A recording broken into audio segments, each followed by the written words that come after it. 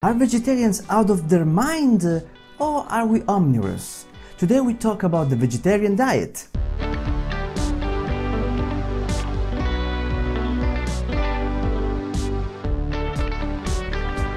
Hello everyone and welcome back on my channel. I'm Pasquale and I'm your nutritional lifestyle coach.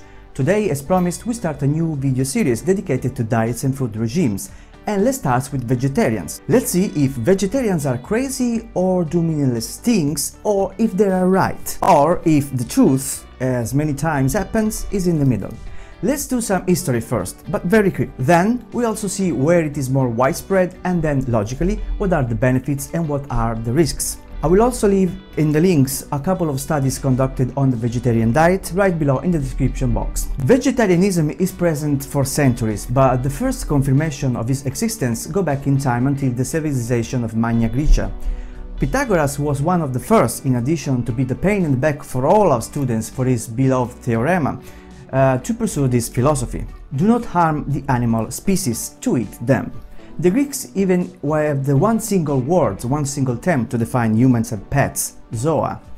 In various forms it is also present in ancient Hinduism where the killing of animals was not allowed and it was allowed only in specific cases like in life danger situation or during sacrifices. Jains and Buddhists also follow such teachings in which it is forbidden to do absolutely any harm to every living creature for food purposes. A curious thing is that in both Greece and later times, even if the omnivores who used to offer animals in sacrifice still had to strict rules to their consumption. In the modern era, it can be said that vegetarianism is born and prolific initially in the United Kingdom, at the beginning for the 17th century with Roger Crab, then in the 18th century the first of which began to come out theories about vegetarianism being healthier. In the middle of the 800 then, the first vegetarian society, simply called Vegetarian Society, was formed in Kent and then other associations being uh, to start to spread in Germany and the United States and the rest of the world.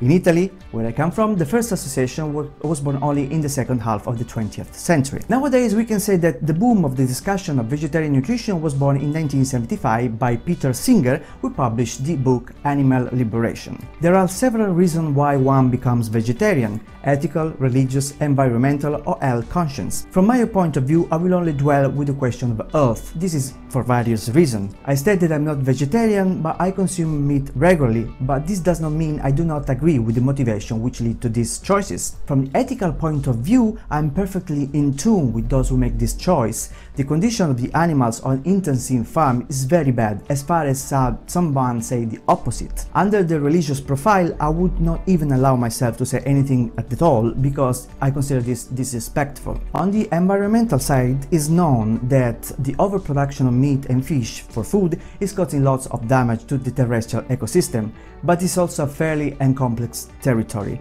so I focus only on the nutritional thing. Vegetarians, under the hats, they also include vegans, also known as vegetarians, raw vegans and fruitarians. In addition, vegetarianism also has food as small division, such as those who avoid dairy products or eggs or um, the other way around, or if they complete eliminate both. But being a vegetarian really leads us to being healthier. Does it make us lose weight faster?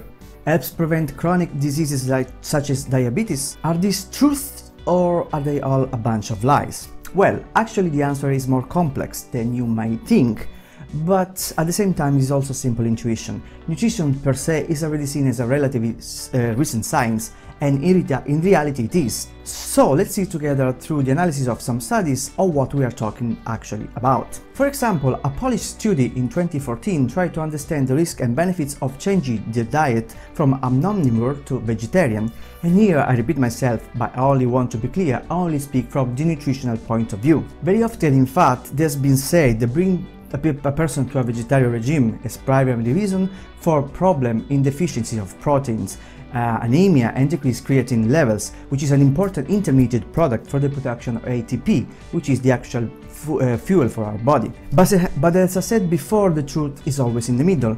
In fact, when we talk about bala a balanced vegetarian diet, we must always take into account the foods that we're eliminating, such as meat, fish, mollusks, etc., and replace them with sources that can bring the same nutrient, especially in terms of protein, vitamin, and minerals so that our organisms can function correctly. It sounds easy, but it's not. in the sense that you have to plan. We need to know what we are eliminating and replace it properly. If, for example, dairy product and eggs are not removed, we are already in a better position. If we take an example, um, an egg uh, of average size is about 7 grams of proteins and 5 grams of fats. So, with 2 eggs, boiled, scrambled or cooked, whatever you like, we introduce about 14 grams of proteins and 10 grams of fat. Also, we add vitamin A, D and potassium.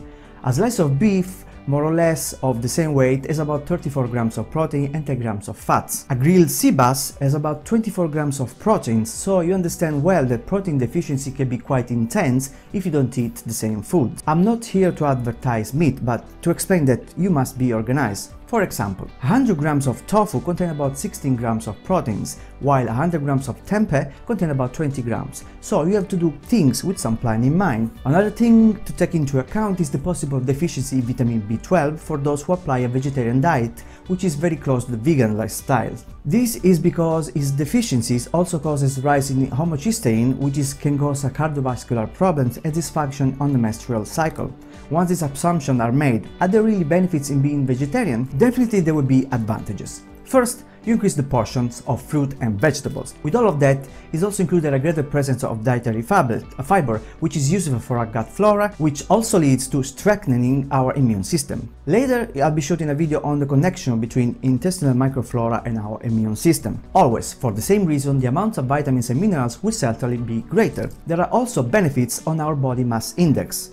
So, can you lose weight? Well, if well applied, yes. The vegetables, both for their high fiber content and for the water content, tend to give a sense of fulfillment that lasts longer. Also, if you eat veggies first thing in your meals, well, you will also avoid exaggerating in portion, and I mentioned this several times in my previous videos. Moreover, by decreasing the fats of animal origin, one can also lower the risk of affecting our fat metabolism and thus decreasing the possibility of developing cardiovascular diseases or type 2 diabetes. Among other things, studies on the fact that a vegetarian diet can diminish the chances of developing diabetes have been done and are still ongoing. The conclusions are a bit inconsistent in the sense that having homogeneous sample is particularly difficult to find. I'll explain myself better here.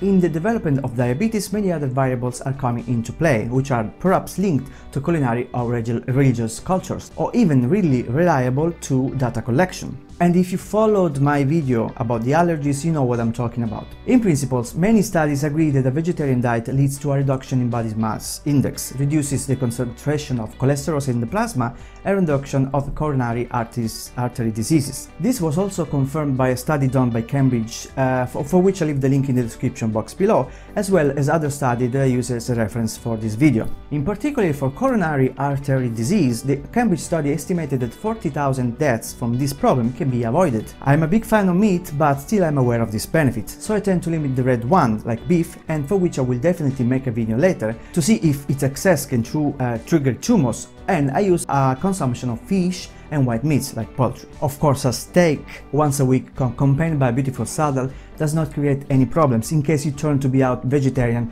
only in fear of medical and nutritional consequences. So in conclusion, there is an evidence that a vegetarian diet can bring some benefits, especially on a cardiocirculatory level, but this is not said to be the only advantage because some studies are, are still too complex and don't have homogeneous results. Having said that, eating meat occasionally does not seem to invalidate its advantages when it's eaten sporadically and not as a common uh, habit. The advice I can give you is to avoid like a plague various substitutes prepared just to remind you of the omnivorous flavors, like some processed preparation where there is everything um, that reminds you of flavor a burger or steak or eggs or cheese. If you made your choice, be consistent because too many times you risk falling into the trap to reduce yourself to eating rubbish uh, or absurd craftsmanship when your food lifestyle should be instead um, be as natural as possible. Reading the label of products uh, you buy will certainly help you.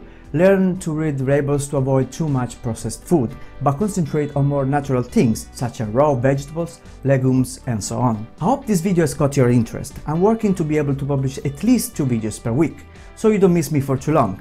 You do miss me, don't you? Also, recently all my videos are also published as podcasts, so only audio, in case you don't have time to watch videos, but you just want to listen to my sweet voice with heavy Calabrian, Italian, Irish accent. The podcast can be found on iTunes, Spreaker and Spotify. just search for Pasquale Riganello, which is me. I remind you that you also can find me on the social networks like Facebook and Instagram and recently even on Twitter, and then YouTube where I only publish exclusively video. If you're curious about who I am and what I do, you can also visit my website www.healthmefood.com. Well, I'll let you go for today, I'm only left to say eat well, live well and smile and see you next time. Ciao!